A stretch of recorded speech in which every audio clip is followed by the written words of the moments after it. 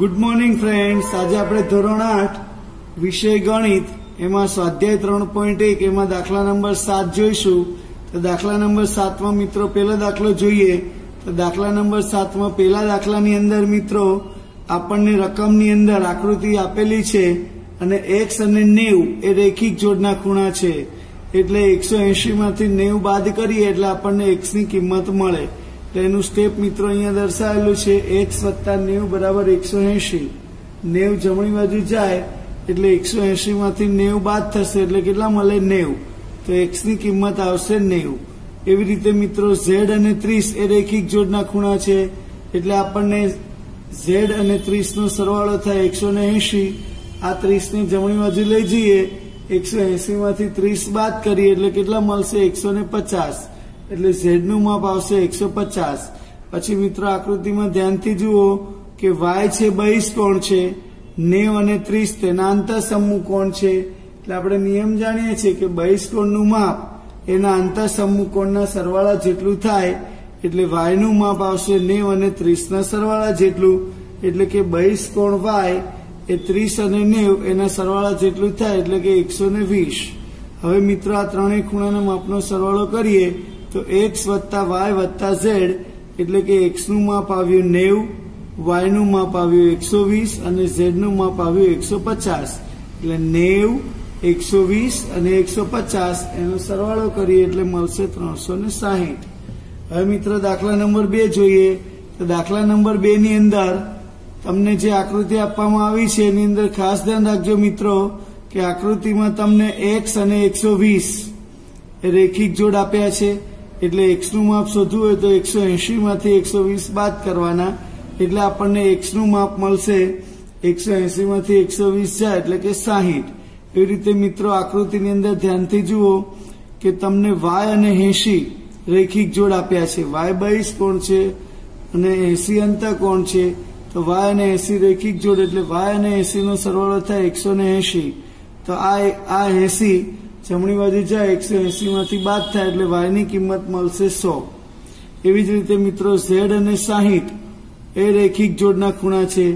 તો ઝેડનું માપ શોધવું હોય તો આ સાહીઠ ને એકસો એસી માંથી બાદ કરીએ એટલે આપણને મળે એકસો ને વીસ. એટલે ઝેડની કિંમત આવશે એકસો ને વીસ. તો ચતુષ્કોણના ચાર ખૂણાના માપનો સરવાળો થાય ત્રણસો ને સાહીઠ. એમાંથી આપણે ત્રણ ખૂણાઓ જાણીએ છીએ. એકસો વીસ એંશી અને સાહીઠ. તો આ ત્રણનો સરવાળો કરીએ એટલે બસો સાહીઠ આવે. બસો સાહીઠ ને ત્રણસો સાહીઠમાંથી બાદ કરીએ એટલે આપણને ચોથા ખૂણાનું માપ મળશે સો. આ ચોથા ખૂણાનું માપ સો જે મળ્યું, એ અને ડી આગળ બનતા બનતો ખૂણો બહારની બાજુનો ખૂણો ડબલ્યુ. અને આ માપ આવ્યું સો. એટલે કે આ ડબલ્યુ અને સો. ડબલ્યુ અને સો એ બંને શું છે? રેખિક જોડ બનાવે છે. એટલે ડબલ્યુ અને સો એનો સરવાળો થાય એકસો ને એંશી.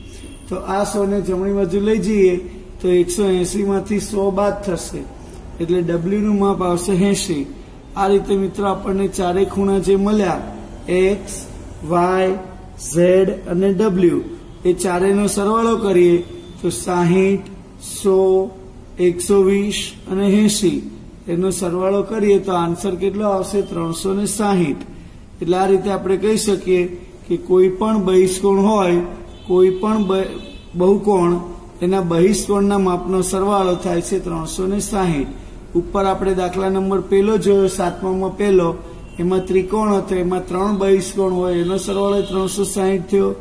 અહીંયા બીજા દાખલામાં આપણે ચતુષ્કોણ જોયો, તો ચતુષ્કોણમાં પણ બહિષ્કોણનો સરવાળો કેટલો થયો? ત્રણસો ને સાહીઠ. હવે મિત્રો, આપણે સ્વાધ્યાય ત્રણ પોઈન્ટ બે જોઈએ. સ્વાધ્યાય ત્રણ પોઈન્ટ બે, એમાં દાખલા નંબર પહેલો, કે બહુકોણમાં બહિષ્કોણના માપનો સરવાળો કેટલો થાય છે? ત્રણસો ને સાહીઠ. એટલે મિત્રો, આપણને આકૃતિની અંદર, આમાં જે આકૃતિ આપવામાં આવી છે, એની અંદર આપણને એક બહિષ્કોણનું માપ આપ્યું છે એક્સ અને બાકીના બે બહિષ્કોણનું માપ આપ્યું છે એકસો પચીસ એકસો પચીસ અંશ.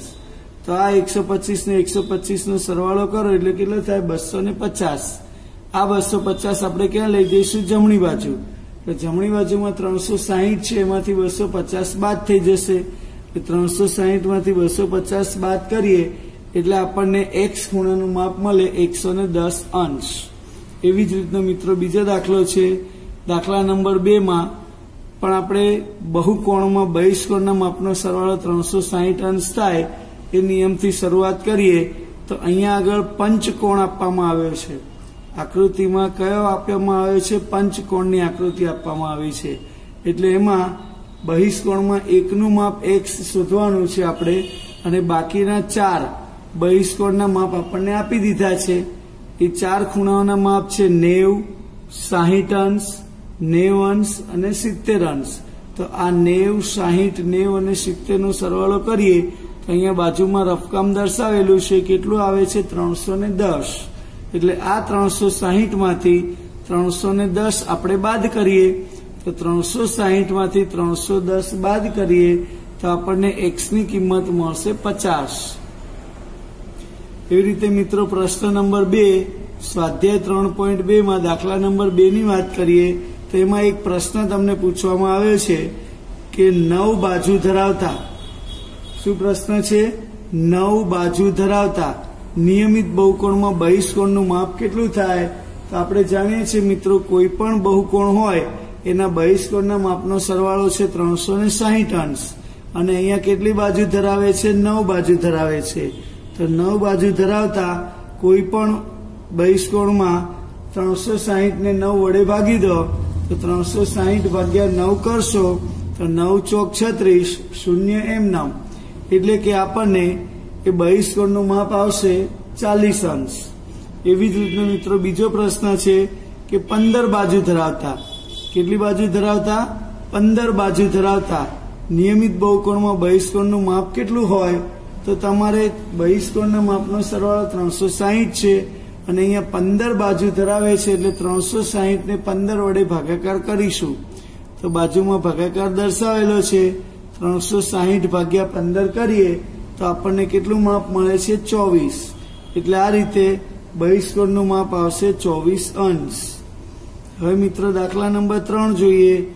દાખલા નંબર ત્રણની અંદર આપણને બહિષ્કોણનું માપ ચોવીસ અંશ આપી દીધું છે. દાખલા નંબર ત્રણની અંદર બહિષ્કોણનું માપ ચોવીસ અંશ છે એવું આપી દીધું છે. હવે આપણે જાણીએ છીએ બહુકોણના બહિષ્કોણના માપનો સરવાળો કેટલો થાય? ત્રણસો ને સાહીઠ. એટલે ત્રણસો સાહીઠ ભાગ્યા ચોવીસ કરીએ, એટલે આપણને બાજુઓની સંખ્યા મળે. અહીંયા આગળ ખાસ ધ્યાન રાખજો મિત્રો, બહિષ્કોણનું માપ આપી દીધું છે ચોવીસ. તો આપણે એ બહુકોણમાં કેટલી બાજુઓ છે? કેટલી બાજુઓ ધરાવતો બહુકોણ છે એ શોધવાનું છે. એટલે બાજુઓની સંખ્યા અહીંયા ત્રણસો સાહીઠ ભાગ્યા ચોવીસ કરવાથી આપણને પંદર આન્સર મળે. એટલે કે પંદર બાજુઓ ધરાવતો બહુકોણ છે એવું નક્કી થાય. હવે મિત્રો, દાખલા નંબર ચાર જોઈએ. સ્વાધ્યાય ત્રણ પોઈન્ટ બે માં દાખલા નંબર ચાર, એમાં અંતઃકોણનું માપ આપણને એકસો ને આપ્યું છે. તો મિત્રો, અંતઃકોણનું માપ એકસો પાસઠ આપ્યું, એની ઉપરથી આપણને બહિષ્કોણનું માપ મળે, તો એકસો એસી માંથી એકસો પાસઠ બાદ કરો. એટલે આપણને કેટલું માપ મળશે મિત્રો? બહિષ્કોણનું માપ કેટલું મળશે? પંદર અંશ. હવે બાજુઓની સંખ્યા શોધવાની છે. તો બાજુઓની સંખ્યા શોધવી હોય તો બહિષ્કોણનું જે માપ છે, ત્રણસો સાહીઠને બહિષ્કોણના માપ વડે ભાગી દેવાનું. એટલે ત્રણસો સાહીઠ ભાગ્યા પંદર કરીએ, એટલે આપણને આન્સર મળશે ચોવીસ. એટલે અહીંયા આ બહુકોણ, આ બહુકોણમાં આ બહુકોણ જે છે, એમાં બાજુઓની સંખ્યા કેટલી આવશે મિત્રો? ચોવીસ બાજુઓ ધરાવતો બહુકોણ છે, એવું કહેવાય. હવે મિત્રો, દાખલા નંબર પાંચ જોઈએ. તો દાખલા નંબર પાંચમાં બે દાખલા આપવામાં આવ્યા છે. એમાં પહેલો છે એ, તો એમાં આપણને બહુકોણનું માપ આપી દીધું છે, બાવીસ અંશ. એટલે બાજુઓની સંખ્યા શોધવી છે. તો ખાસ ધ્યાન રાખો મિત્રો, જો બહુકોણનું માપ બાવીસ અંશ હોય તો એ બહુકોણ શક્ય નથી. કેમ કે ત્રણસો સાહીઠને બાવીસ વડે ભાગાકાર કરીશું, તો નિશેષ ભાગી શકાતા નથી. બાવીસના બે ભાગ પડે, અગિયાર દુ બાવીસ. પછી ત્રણસો સાહીઠને બે વડે ભાગો, તો એકસો એસી એટલે એકસો એસી ભાગ્યા અગિયાર, તો એકસો એસીને અગિયાર વડે ભાગીશું, તો અગિયાર એકા અગિયાર, તો અઢારમાંથી અગિયાર જાય તો સાત. શૂન્ય ઉતારો, એટલે અગિયાર છ છાસઠ એટલે ચાર શેષ વધે, એટલે કે સોળ પૂર્ણાંક, ચાર અગિયાર અંશ મળે, એટલે આપણે જાણીએ છીએ કે કોઈ પણ બહુકોણમાં બાજુઓની સંખ્યા મિશ્ર સંખ્યા ક્યારેય હોય નહીં. માટે આ બહુકોણ શક્ય નથી. એટલે લખ્યું છે કે જે શક્ય નથી. હવે દરેક બહુકોણનું માપ બાવીસ અંશ હોય, એવો નિયમિત બહુકોણ શક્ય નથી. એવું કહી શકાય. હવે મિત્ર, દાખલા નંબર પાંચમાં બી જોઈએ કે દાખલા નંબર પાંચમાં બી એમાં અંતકોણનું માપ બાવીસ આપ્યું છે. તો બાવીસ અંતકોણનું માપ છે. એની પરથી બહિષ્કોણનું માપ શોધવું હોય તો એકસો એંશીમાંથી બાવીસ બાદ કરી દો. એકસો એસીમાંથી કેટલા બાદ કરીશું? બાવીસ. તો એકસો એસીમાંથી બાવીસ બાદ કરીએ તો બાજુમાં રફકામ દર્શાવેલું છે. એટલે એકસો અઠ્ઠાવન અંશ આવશે. એટલે બાજુઓની સંખ્યા કેટલી મળશે? તો ત્રણસો સાહીઠ ને એકસો અઠ્ઠાવન વડે ભાગાકાર કરીએ, તો ત્રણસો સાહીઠ ભાગ્યે એકસો અઠ્ઠાવન કરવું હોય, તો એકસો અઠ્ઠાવનના બે ભાગ પાડ્યા, ઓગણએંશી ગુણ્યા બે. ત્રણસો સાહીઠ ને બે વડે ભાગો, તો એકસો એંશી. હવે એકસો એંશીને ઓગણએંશી વડે ભાગવાથી આપણને મિશ્ર સંખ્યા મળે છે. બે પૂર્ણાંક બાવીસ ઓગણએંશી અંશ. એટલે અહીંયા પણ કોઈ બાજુઓની સંખ્યા આવી અપૂર્ણાંક હોઈ શકે નહીં. એટલે કે આવો પણ બહુકોણ શક્ય નથી. એટલે લખ્યું કે આ માપ નિયમિત બહુકોણના અંતકોણનું માપ પણ હોઈ શકે નહીં. હવે મિત્ર, દાખલા નંબર છ જોઈએ. દાખલા નંબર છ માં પહેલો, એમાં સમબાજુ ત્રિકોણ. તો ત્રણ બાજુ ધરાવતો નિયમિત બહુકોણ છે. સમબાજુ ત્રિકોણ. એ ત્રણ બાજુ ધરાવતો નિયમિત બહુકોણ છે. માટે એના અંતકોણનું માપ ઓછામાં ઓછું કેટલું આવશે? તો આપણે જાણીએ છીએ ત્રિકોણના ત્રણ ખૂણાનો સરવાળો કેટલો થાય? એકસો એસી ત્રિકોણના ત્રણ ખૂણાનો સરવાળો કેટલો થાય? એકસો એંશી. આ એકસો એંશીને ત્રણ વડે ભાગી દઈએ એટલે આપણને આન્સર મળશે સાહીઠ અંશ. પછી મિત્રો બીજો પ્રશ્ન છે, એમાં એમાં દાખલા નંબર છ માં બીજો પ્રશ્ન. એમાં આપણને મોટા મોટો બહિષ્કોણનું માપ શોધવાનું કીધું છે. તો અંતકોણનું માપ જો સાહીઠ અંશ હોય, તો આપણને મોટા મોટો બહિષ્કોણ કેટલો આવે? તો એકસો એસી માંથી સાહીઠ અંશ બાદ કરો. એટલે કેટલા મળશે? એકસો ને વીસ અંશ.